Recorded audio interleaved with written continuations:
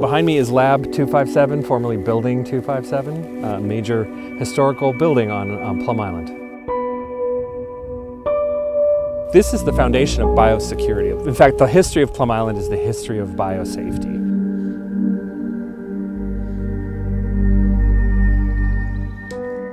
Plum Island Animal Disease Research Center.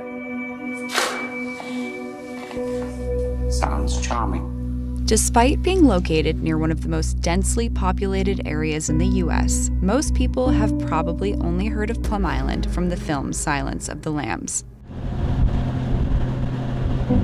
We departed this morning around 8 a.m. from Connecticut. Now we are on the ferry on the way to Plum Island. It's going to be a 30 to 45 minute ride and it should be a fun day.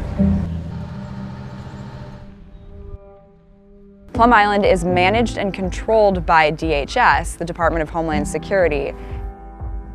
Plum Island is the nation's premier agricultural defense research lab for transboundary animal diseases that affect uh, livestock, but don't exist in the United States. From the 1950s through the 1990s, we were uh, one of the few labs doing this kind of work, and you can see the technology as you walk through our facility progress from simple 1950s mechanical and engineering solutions to more complicated uh, systems and processes, including HVAC units, HEPA filtering, thermal decontamination of waste. All of that stuff was developed here. So Plum Island actually has a central role in modern biosafety. So that story is largely untold.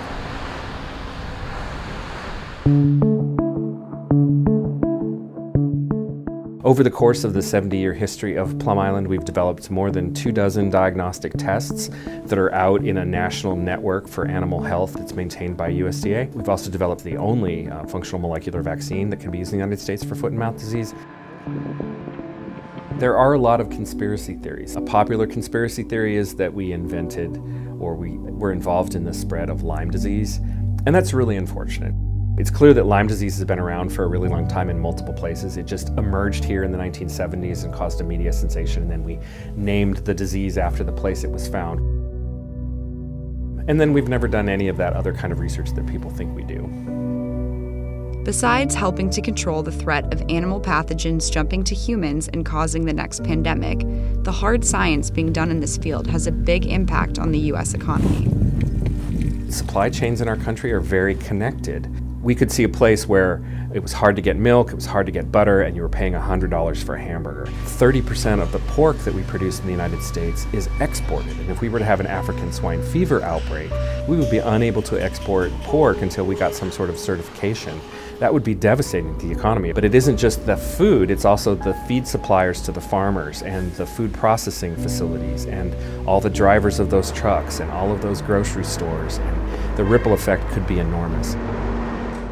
Although China vehemently denies it, rumors of the coronavirus leaking from a government lab there has sparked renewed interest in these types of facilities. COVID 19, SARS, Ebola, Zika, swine, and avian flu all emerged in humans in the past two decades, and governments around the world are spending billions on research facilities to study these dangerous pathogens. The philosophy here is that safe science is good science. Our primary goal is the safety of the researchers and the, and the, staff here at the facility, the safety of the animals, the safety of the environment. We have a responsibility to the people here in New York, the people in Connecticut, the U.S. at large. We do have impacts from weather from time to time, uh, specifically hurricanes or bad sea conditions. With the advent of new containment technologies, it is now uh, safe to build these high containment facilities on the mainland. With the construction of a $1.25 billion Level 4 biosafety facility in Manhattan, Kansas, finally completed, the decommissioning of Plum Island will soon begin. And although it may cause alarm to have such a facility on the mainland, it may actually be safer.